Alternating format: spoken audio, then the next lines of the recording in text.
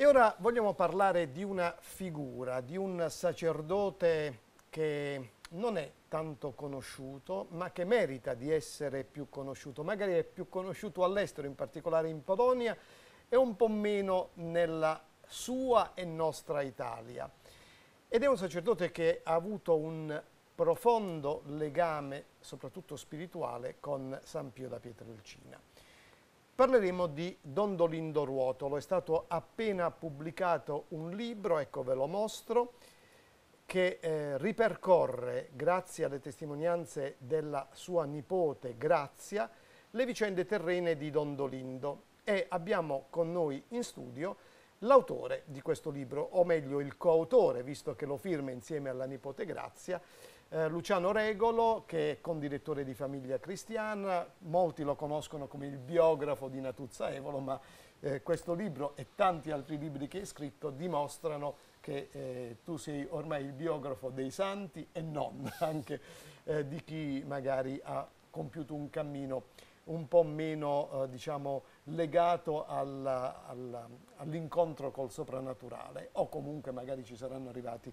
eh, come tanti altri alla fine della loro esistenza. Benvenuto fra noi, anzi bentornato fra noi Luciano e anzitutto eh, mettiamo in luce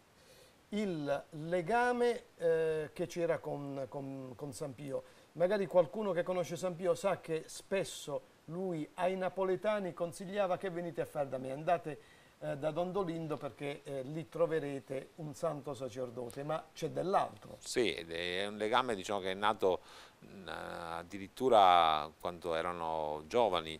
perché durante il periodo cosiddetto napoletano di Vale Pio nel 1918, eccetera, eh, si intersecarono nella, nella, stessa chiesa, che era quella della Madonna della Pazienza, e, ehm, e praticamente diciamo, era vicino alla Cesarea, alla, alla, alla caserma dove era la, la sanità dove militare, dove Padre Pio ha fatto quella breve parentesi. Esattamente, proprio lì eh, Don Dolindo teneva eh, degli incontri di catechismo, quindi uno dei figli spirituali di Padre Pio, che era un avvocato napoletano eh, Turino, si chiamava, che organizzava eh, moltissimi pullman di pellegrini, eccetera, è anche molto devoto di Don Dolindo e quindi ha fatto parecchio da trade union tra i due anche se ci sono cartoline, opuscoli, come sai, perché mi hai aiutato anche nelle mie ricerche, però appunto diciamo, e di questo ti ringrazio, eh, però appunto abbiamo intanto eh, contezza del fatto che Don Dolindo mandava a a San Pio sia opuscoli eh, che lui scriveva perché era un grande scrittore di, di cose sacre e di meditazioni che spaziamo dalle preghiere fino a quando poi realizza il suo eh, capolavoro che sono i commenti alle sacre scritture, sono 33 volumi. La nipote Grazia dice una frase che mi piace ripetere in questa eh, sede dove dice che ha spesso pensato, li consiglia due giganti della carità, ha spesso pensato che come eh, San Pio edificò, eh, costruì, fece costruire la ehm, casa sollievo della sofferenza per eh, diciamo, le anime eh, per i sofferenti anche nel corpo, così lui fece questo ospedale, tra virgolette, spirituale che era il commento delle sacre scritture no? per curare le anime. Quindi c'era questo grande eh, dialogo a distanza e, e, fin quando poi si vedono veramente fisicamente nel 1953, accompagnati da, tra l'altro da un vescovo che oggi è molto conosciuto perché era il vescovo di Campania, oggi noto Palatucci per aver salvato tantissimi diciamo, ebrei in un periodo oscuro della nostra storia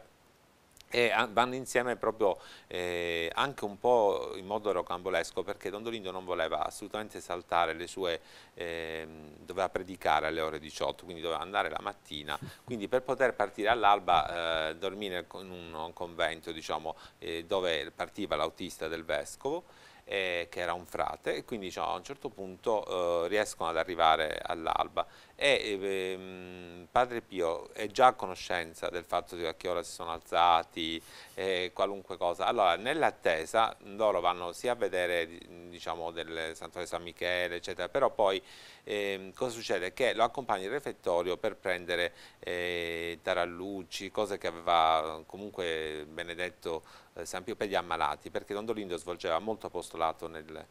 eh, e lui dice, Guagliò lo so, lo sai che io non lo so fare l'accento di San Pio, però comunque gli dice, hai visto che ti avevo lasciato tutte le cose, insomma era a conoscenza anche di questo, ma soprattutto eh, ciò che animava Don Dolindo era sapere, Don Dolindo aveva ricevuto degli aspri provvedimenti. Eh, tra l'altro ho trovato una sua annotazione quando nel 1923 viene mh, punito con misure ingiuste, diciamo restrittive, San Pio, lui eh, anche sta cominciando ad essere sottoposto al giudizio del Sant'Uffizio, anche Don Dolindo, oh. e lui scrive, ho letto che anche Padre Pio ha subito questa cosa, lo scrive nel 123, no? ha iniziato a seguire, prego per lui, scrive. Eh, però per Don Dolindo fu ancora diciamo, un calvario che si... Mh, continua perché una prima volta, dopo un anno e mezzo, viene reintegrato dalla sospensione a divinis. Poi invece per 16 anni viene privato proprio per ciò che aveva scritto e per delle testimonianze di, di una figlia spirituale, un cliché molto simile che chiama San Pio conosce, eh, una figlia spirituale gelosa del rapporto che lui aveva diciamo, con alcune eh, figlie, altre, con altre figlie spirituali, eh, diede delle false testimonianze, quindi si, si instaurò una un processo, diciamo un, come avveniva allora col Sant'Uffizio eh, e quindi fu privato della possibilità di dare anche i sacramenti. Allora lui cosa faceva? Andava lo stesso a messa tutti i giorni, essendo anche oggetto di mormorazione, no? perché si presentava, però pur eh, per questo testimoniando l'amore per l'Eucarestia e per la Chiesa, eh, non c'è stato mai un momento in cui si è ribalato esattamente come, come, come, fa San Pio. Quindi sì, sì. lui cosa fa? Quando va lì nel 53, ormai lui è già stato reintegrato, eccetera, ha il desiderio di sapere se questa fase diciamo, della sua vita aveva gettato ombra, se quello che lui aveva scritto effettivamente era sbagliato da un punto di vista. Allora eh, San Pio lo guarda e gli dice il paradiso è, era è e sarà sempre con te. E allora lui si commuove, c'è questo incontro commovente descritto perché si rispondono l'uno con l'altro e soprattutto alludono. Eh, C'era Emma Montella che era una figlia spirituale di eh, Don Dolindo che era anche in contatto con Padre Pio e quindi eh, praticamente si si fanno riferimento esplicito a delle visite spirituali che aveva compiuto eh, San Pio con questa figlia spirituale di Don Dolindo e viceversa. Quindi c'è un intreccio incredibile e tra i vari intrecci forse uno dei più che mi ha colpito riguardo a quello che stavi dicendo anche prima, cioè il fatto che spesso San Pio eh, dicesse cosa venite a fare, c'è a Napoli, eh, c'era questo mh, conte polacco che era caduto in, eh, in, in disgrazia anche economica, eccetera, il quale lavorava per Monsignor Inizza. E, ed era venuto qui, allora gli ho detto ma cosa affronti questo viaggio disagevole da Roma, eccetera, dice vai direttamente a Napoli che è più vicino e vai da Dondolindo. Allora si crea un legame tra questi due, allora Dondolindo aveva tra i vari suoi doni, carismi, quello di ricevere delle locuzioni interiori e lui le scriveva dietro delle immaginette generalmente tematiche, anche quando non conosceva apparentemente il destinatario che andava. Quindi su una che raffigura la regina no, del, del, cielo, che è la, appunto la Madonna, scrive Maria all'anima e, e ed è indirizzato poi a questo, l'anima sarebbe questo conte, dice uh -huh. ehm, arriverà un altro Giovanni che come Sobiechi, riferendosi al Giovanni polacco, no, che libera, eh, liberò dalla mm, schiavitù dei turchi, così arriverà questo nuovo Giovanni che spezzerà le catene e libererà dalla dittatura comunista, lo scrive diciamo proprio chiaramente. Questo dicendo, in che anno? E questo lo scrive nel 1965 quindi eh, con eh, 13 anni, 13 anni di anticipo rispetto, rispetto alle elezioni di Giovanni Paolo II. Esatto. E per questo Dondolindo è così famoso in Polonia perché i polacchi hanno scoperto che aveva preconizzato sì. la loro liberazione e colui che li avrebbe sì. liberati. E per quegli intrecci curiosi no, della, della provvidenza,